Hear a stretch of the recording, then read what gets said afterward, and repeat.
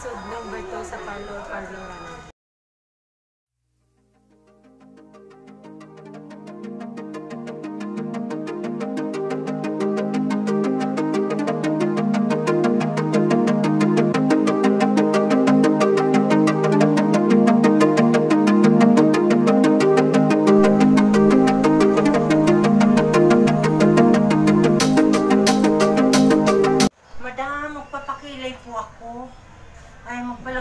Magpalagay ako ng pilik mata. Magkano ba? Ah, ano po ba ang gusto nyo? Classic po ba o ano, ah, hybrid?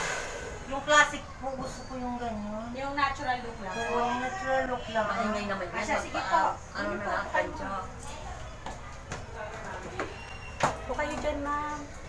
Aba, may, may buong buntis. Baka may paano ha? Ay, hindi, nine months na to, pero matagal-tagal pa yata.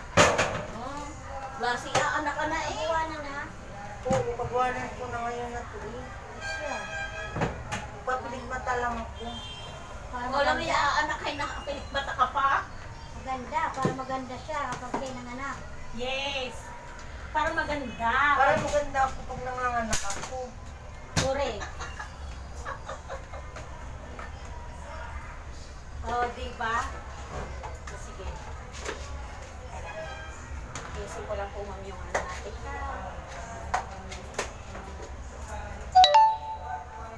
Nag-cleansing lang po tayo. Ay. Ano yan? Wait. Nasaan na ba yung aking ano? Bulak sila.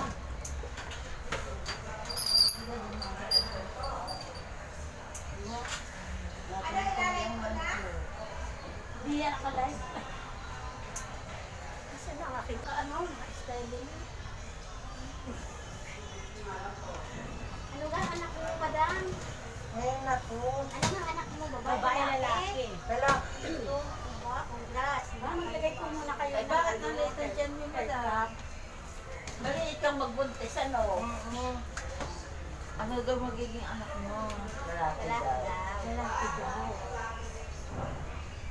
Ba't ka wala si Mister? Hindi mo kasama si Mister mo? Hindi ko sinama kasi ano, may trabaho siya eh. Paano kung bakit kayo naka, nakaanak? Oh.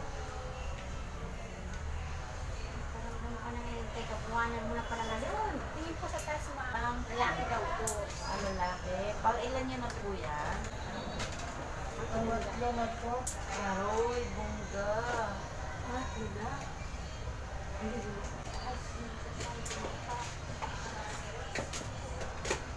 Ano ba yung single lang po ang lagay? Ka na.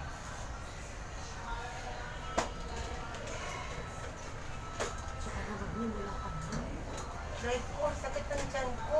Bakit? Mga anak na yata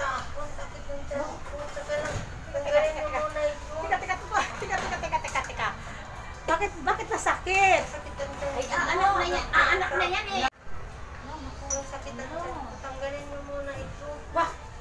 Ay, teka. Mga ganak ka na. Ang ilang ba na ganyan? Na eh. Ano?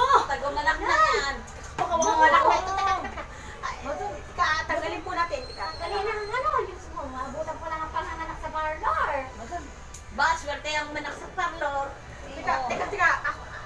Masakit na masakit po ba? Bababa na ako. Ilan cm na ba yan? Ilan cm na ba yan? Ha? Saan kaya dinala yun? Baka na din alam ni madam ba't ang tagal. Diyos ko, na, na, nadala ko na sa ospital. Baka manganganak na.